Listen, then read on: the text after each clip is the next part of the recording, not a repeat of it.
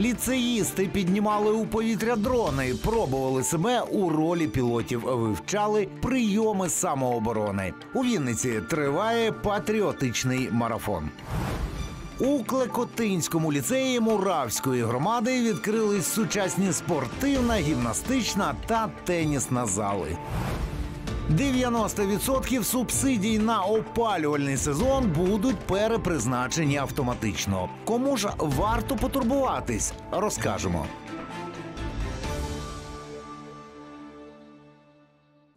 Мої вітання в ефірі телеканалу Віта новини за день у середу 2 жовтня. Про головні події розповім я, Олексій Літвінов. Україна під щоденними ворожими обстрілами. Вночі окупанти атакували шахедами Одещину. Вдарили по припортовій та прикордонній інфраструктурі у Ізмаїльському районі. На місці удару виникла масштабна пожежа. Поранено двох водіїв вантажівок, один з яких громадянин Туреччини. Також через атаку призупинилась робота на пункті пропуску Орлівка. Серію ударів окупанти завдали і по передмістю Харкова. У Дергачах постраждали п'ятеро людей, пошкоджено автівки, гаражі та багатоповерхівки. А вранці армія РФ вгатила кабами по селу Черкаська Лозова. Обійшлося без постраждалих. Потерпала від ворожих ударів і Дніпропетровщина. Внаслідок атаки по місту Марганець зруйновано житловий будинок. У Херсоні окупанти скинули з безпілотника вибухівку на маршрутний автобус, у якому було два десятки пасажирів. Одна жінка загинула, ще двоє людей поранено. Також стало відомо, що сили оборони України вивели свої підрозділи з Вугледара. Про це офіційно повідомили в оперативно-стратегічному угрупованні військ Хортиця. Два з половиною роки наші оборонці протистояли знищенню міста. Та, врешті, ворог спрямував резерви для проведення флангових ударів, які виснажили оборону підрозділів збройних сил України. В результаті дій противника виникла загроза оточення міста. Вищим командуванням надано дозвіл на здійснення маневру по виведенню підрозділів з вугледару з метою збереження особового складу і бойової техніки та зайняття положення для ведення подальших дій. Підіймали дрон, навчались прийомам самооборони і спробували себе у ролі пілотів. Для вінницьких ліцеїстів протягом двох тижнів проводили патріотичні заходи, аби заохотити молодь вивчати свою країну. Як пройшов один день із цілого марафону, дивіться у нашому сюжеті. Поки однокласникам проводять інструктаж з поводження зі зброєю, 16-річний Олександр Кудрянь впевнено заряджає пневматичну гвинтівку Іж-38 і готується до пострілу в мішень. Ліцеїст каже, вже має досвід стрільби і залюбки вдосконалює навички. З пневматичної гвинтівки стріляю не вперше, оскільки я ще стріляв е, в дитинстві, мене навчив мій дідусь, е, тому я вже до цього привчений. Зміг попасти, єдине, бувають е, деякі похибки з приціленням, але це дрібниці. На іншій локації десятикласниця Валерія Фігурська вперше у житті піднімає дрон.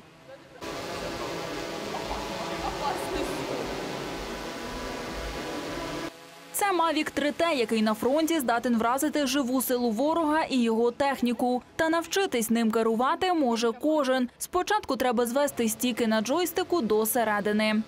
Потім потроху піднімати вверх, аби він плавно піднявся. Е, Потім також можна його і покрутити, і зробити фотографії. е, І вперед-назад, вліво-вправо, також щоб він рухався. Це було дуже цікаво, захоплююче. Такий захід провели у рамках щорічного патріотичного марафону для півсотні школярів громади.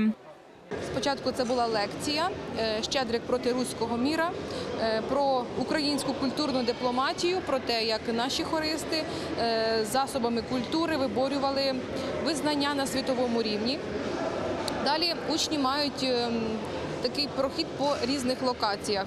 І поки інші школярі знайомляться із локаціями, які представив Харківський університет внутрішніх справ, учні 30-го ліцею знайомляться із прийомами самооборони. Майстер спорту Олександр каже, програму тренувань від початку російсько-української війни адаптували під нову реальність. Зараз самооборона е, прирівнюється до того, що основне потрібно врятувати своє життя. Не потрібно вивчати складним якимось елементам, технікам, прийомам або складним киткам, або складним там больовим, удушаючим чи складним бойовим технікам.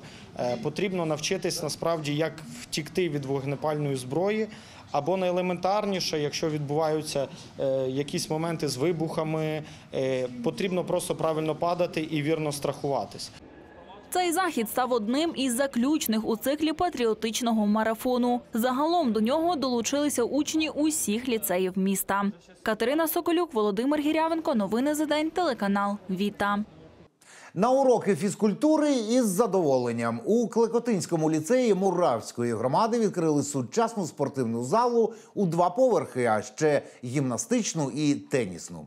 Приміщення із сучасним дизайном, комфортними роздягальнями та можливістю активно провести час із користю для здоров'я. Про те, якими силами вдалося зробити із столітнього приміщення сучасний спорт, простір розкажемо далі. Всі найкращі умови для фізичного розвитку школярів у Клекотинському ліцеї офіційно відкрили відремонтовану спортивну залу, а заразом дали старт проведенню гімназіади. Учні з семи ліцеїв Муравської громади зібралися, аби позмагатись у стрільбі, шахах та грі в теніс. Дев'ятикласниця Олександра зізналась, тепер фізкультура стане улюбленим уроком. Тут класно, комфортно. Не було раніше такої мотивації приходити сюди, займатися. А зараз хочеться займатися спортом.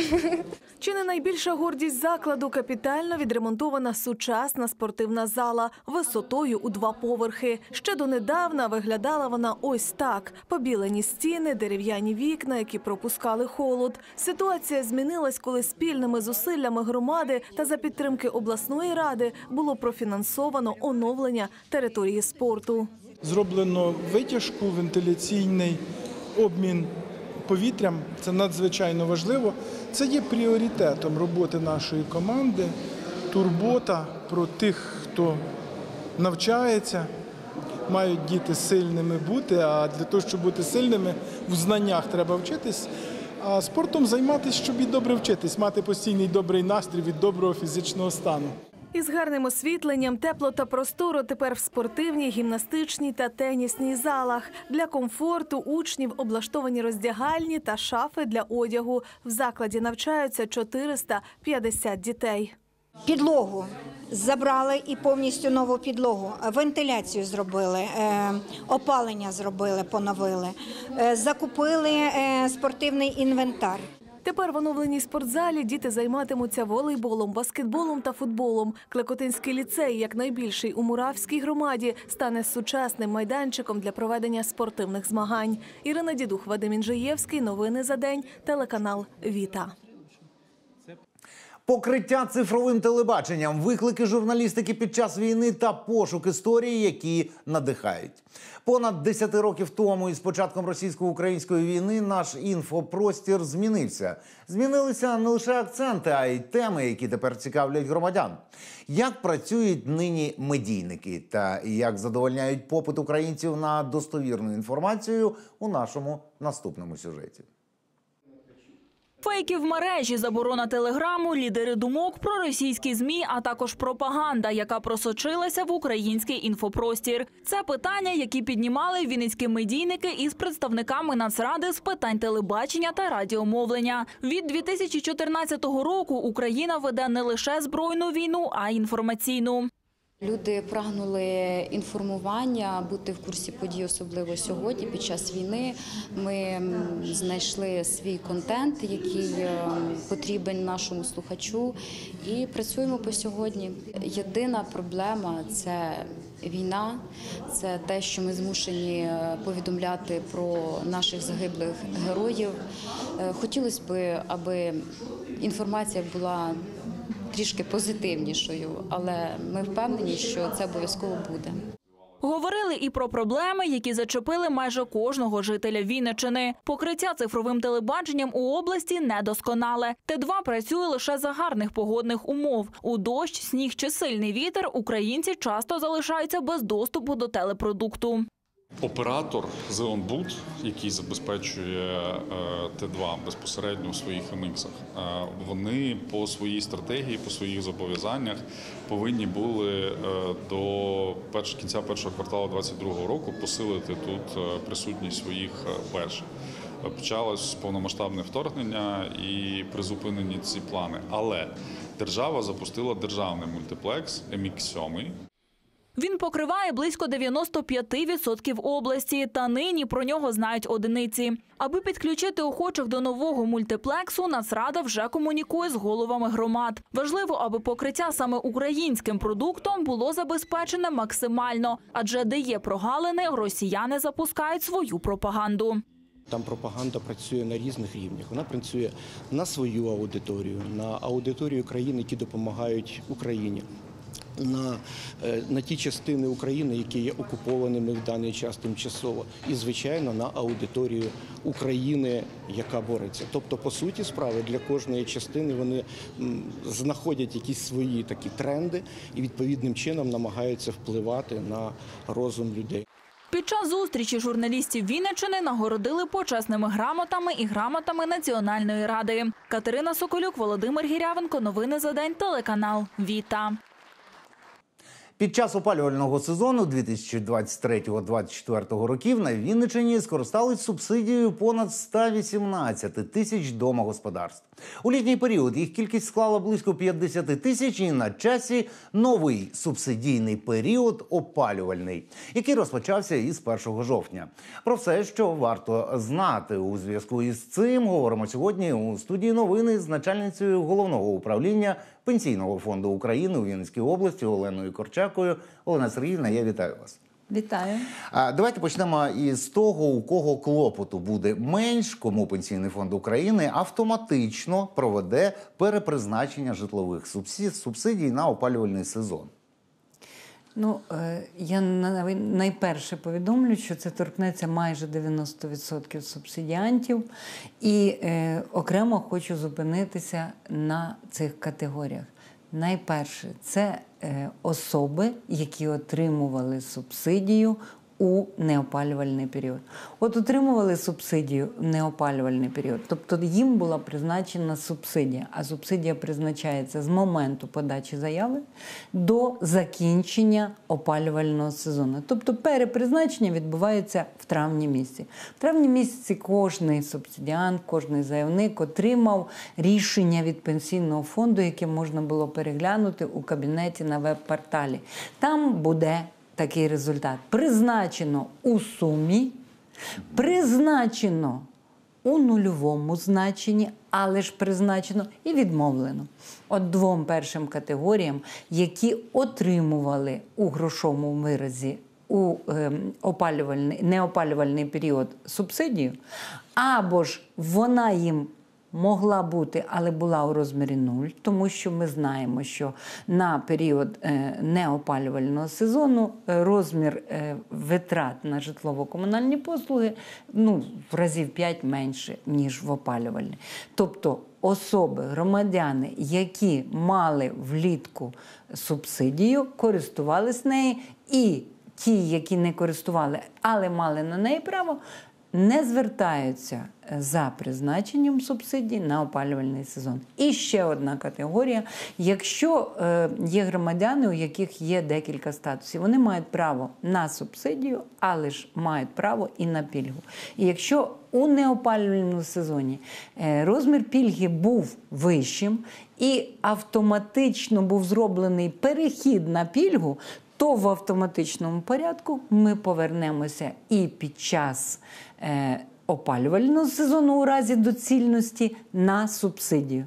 Тобто, отаким громадянам звертатись за субсидію не потрібно.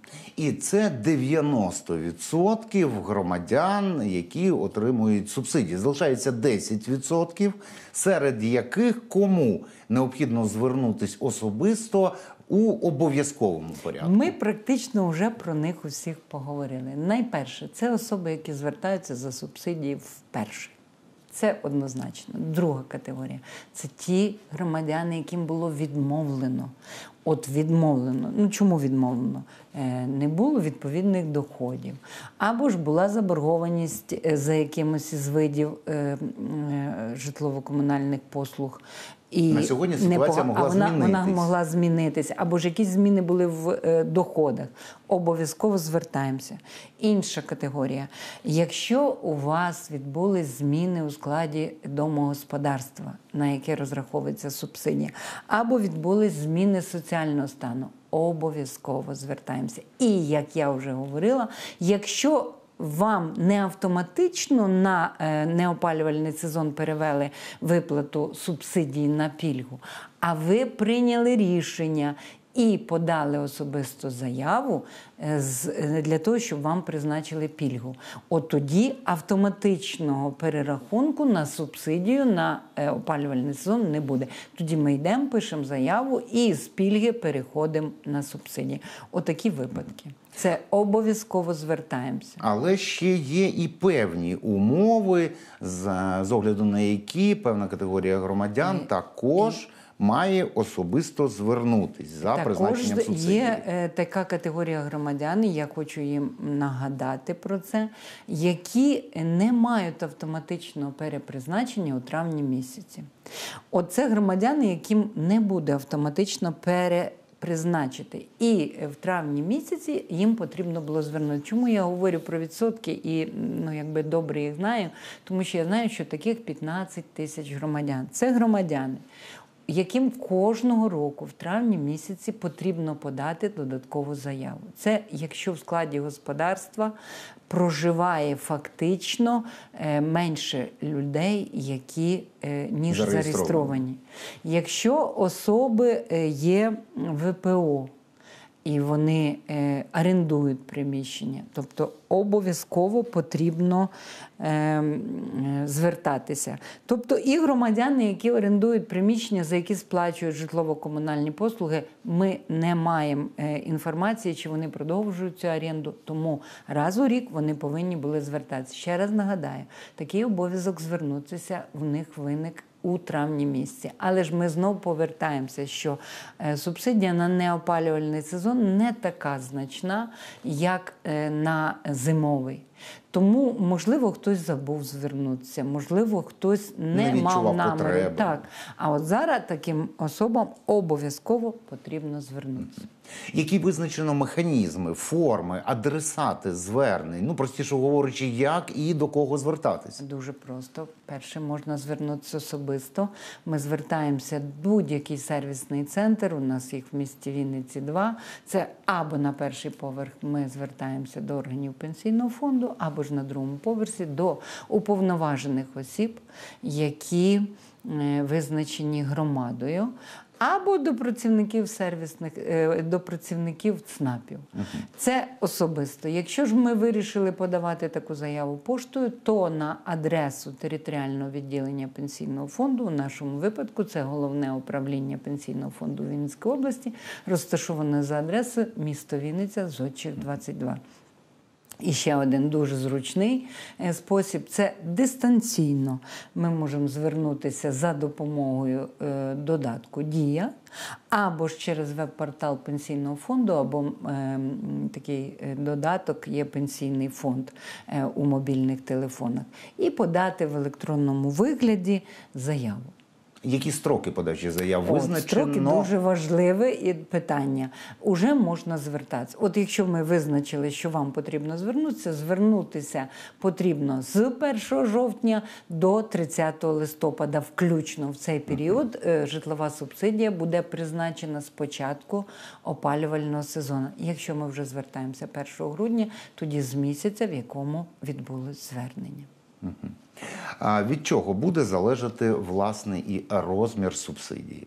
Для розрахунку субсидій на опалювальний сезон 2024-2025 року приймаються до розрахунку доходи е, осіб, які проживають в даному домогосподарстві або ж зареєстровані, і їхні доходи беруть участь за перший і другий квартали 2024 року. Якщо в складі домогосподарства є особи, які мають у вигляді доходу лише пенсійні виплати, там один пенсіонер проживає, або е, сім'я і лише пенсія є єдиним доходом, то такий розмір ми беремо за місячним розміром е, серпня 2024 року. А форма звернення це один єдиний документ, чи він потребує додатків, він потребує додаткових підтверджень, і все це перетворюється Ну, е, на е, цілий пакет. передбачено е, чинним законодавством, що е, людина, яка звертається за призначенням субсидії, подає два документи: заяву і декларацію. Всі дані, які зазначені в цих документах, е, зазначає людина самостійно, несе відповідальність за їхні ем, е, справжність їхню і е, не потребує підтвердження ніякими документами за невеликим виключенням. Вони є у кожного там чітко прописані. От, наприклад, якщо нам потрібно підтвердити актом обстеження фактичне місце проживання, тобто людина зареєстрована за одним, а по- потрібно за другим, або ж е, договор оренди. Тобто у кожному випадку такі е, документи е, оговарюються окремо, і це одиничні випадки. Пані Олена, я дякую вам за роз'яснення. Дякую, що знайшли час. Знаю, що в цей період роботи у вас більш ніж достатньо. Дякую. А з нами у студії була начальниця головного управління пенсійного фонду України у Вінницькій області Олена Корчака. Ну а ми рухаємось далі. Далі у випуску амфетамін, елітні сорти коноплі та псилоцибінові гриби. Правоохоронці виявили масштабне виробництво наркотиків. Новий бізнес, нові робочі місця. До Вінниці продовжують релокуватись підприємства із прифронтових територій. Понад 150 тварин із п'яти континентів світу зібрали у міні-зоопарку, який днями розмістився у Вінниці. Чоловік вкрав у своєї співмешканки майже півтора мільйона гривень. 31-річна жителька села Агрономічне виявила, що частину купюр з її заощаджень підмінили та звернулась до поліції. Як встановили слідчі, 29-річний співмешканець потерпілої випадково знайшов схованку у будинку і вирішив привласнити собі частину. Щоб жінка не помітила відсутності коштів, справжні гроші замінив на сувеніри. Викрадені гроші чоловік витратив на власні потреби. Фігуранту повідомили про підозру. Суд обрав йому запобіжний захід тримання під вартою з можливістю внесення застави розміром півтора мільйони гривень. Зловмиснику загрожує до 12 років ув'язнення із конфіскацією майна. Поліція Вінничини затримала драгдилера, що діяв на міжрегіональному рівні. В одному із сіл Могилів Подільського району місцевий мешканець облаштував нарколабораторію. Там чоловік виготовляв амфетамін, канабіс, вирощував елітні сорти коноплі та займався виробництвом психотропних грибів. Слідчі встановили, що за місяць чоловік міг виготовити до 3 кілограм психотропів та виростити за сезон близько тисячі наркорослин. Щомісячний прибуток дилера становив понад 200 тисяч гривень. Правоохоронці затримали 30-річного фігуранта та провели ряд обшуків. Під час обшука у фігуранта вилучено 500 кущів е, коноплі, близько 5 кілограмів е, висушеного готового до збуту канабісу, 500 грамів е, прекурсору та лабораторне обладнання. На даний час фігурант підозрюється за частиною 2 статті 307 та частиною 2 статті 310 Кримінального кодексу України. Е, Останньому загрожує до 10 років позбавлення волі. Вінниця займає передові позиції за кількістю бізнесу, що перевіз свої потужності із інших регіонів. У місті зареєстровано вже 380 релокованих підприємств. За минулий місяць переїхало ще 12 юридичних та фізичних осіб підприємців, які працевлаштували ще 17 людей. Загальна кількість новостворених робочих місць 1925. Підприємства залишаються в Україні та продовжують посилювати економіку держави. Релоковані компанії працюють у різних сферах: промисловість, IT, надання послуг, перевезення та логістика, ремонт, торгівля та інші. У планах міської влади подбати і про розвиток та збільшення кількості індустріальних парків. Понад 70 видів екзотичних тварин з декількох континентів світу. У Вінницькому універмазі оселився міні-зоопарк. У звіринці можна познайомитися із особливою історією кожної тварини, почастувати мавпочок, єнотів, птахів та інших звірят. Чим особливий зоопарк розкажемо у нашому сюжеті. Понад 150 тварин із п'яти континентів світу зібрали в міні-зоопарку. Відкрили звіринець близько 10 років тому. Тоді все почалося з маленької виставки. На початку повномасштабного вторгнення через постійні обстріли зоопарк переїхав із Запоріжжя до Вінниці. Наразі звіринець працює і як реабілітаційний центр для тварин. З 2021 року притулок прийняв понад тисячу домашніх та диких звірів. Все залежить від періоду року. Як навесні, влітку більш е, приносять птахів, але взагалі ми е, інструктуємо, як це робити самому. Бо така кількість, як люди телефонують, приносять птахів, з нею неможливо впоратися самостійно, ніякому притулку взагалі. Кожна тварина у зоопарку має особливу історію. З малку звіринці проживає ворон, якого віддали люди. Також є мавпочки, яких попередні власники рік утримували в гаражі. Нині в окремих апартаментах живе осоїд. Ослабленого та хворого птаха знайшли небайдужі люди коло дороги та привезли до зоопарку. Тут йому провели потрібні обстеження та лікування. Осоїд це птах, який на зиму літає в, Африку. І тому ми зараз його, він вже добре себе почуває, але випустити ми не можемо, бо після хвороби він е, ще слабий. Він буде е, розміщений в вольєрі. Ми будемо тільки годувати його. Годувати будемо живою їжею, щоб він е, вчився самостійно там полювати і самостійно жити.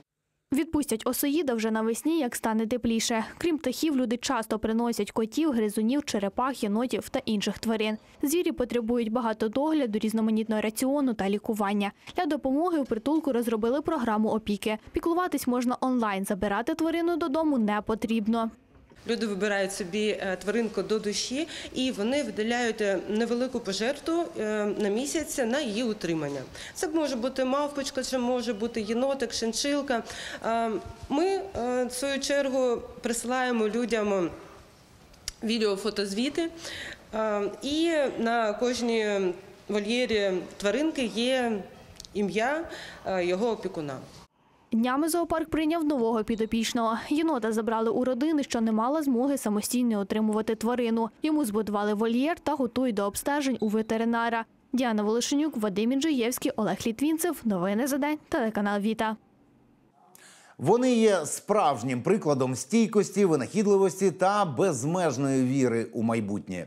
Телеканал Віта збирає історії вінничан у новому соціально-патріотичному проєкті Я залишаюсь тут, який присвячений особистостям, котрих не зламали кризи, відшліфували випробування та загартувала війна.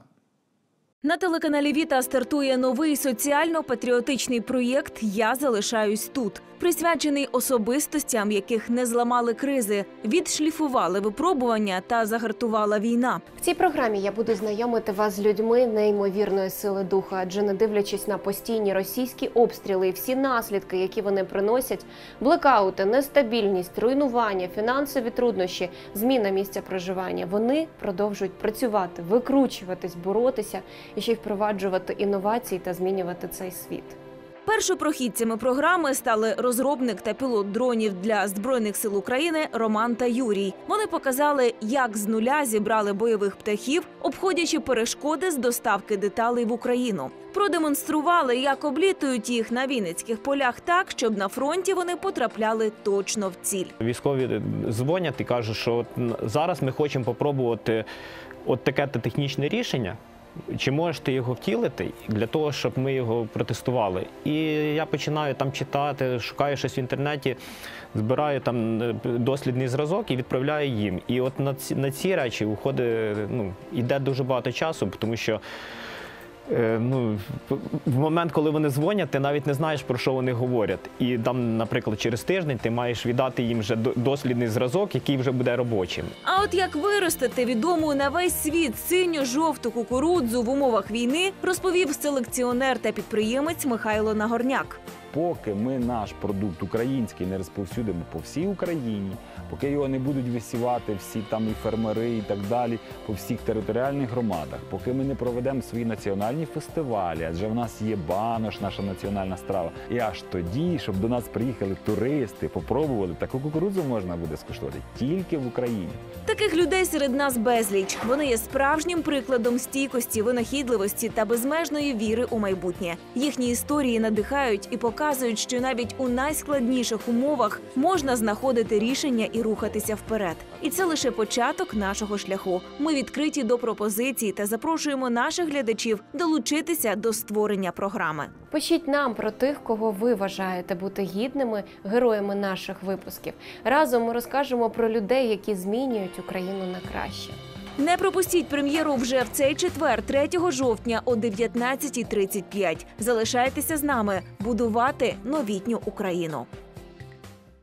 На сьогодні це основні новини Вінниці України та світу, але не перемикайтеся. По завершенню дивіться міжнародний дайджест новин. Бережіть себе і близьких, підтримуйте сили оборони, і все обов'язково буде Україна.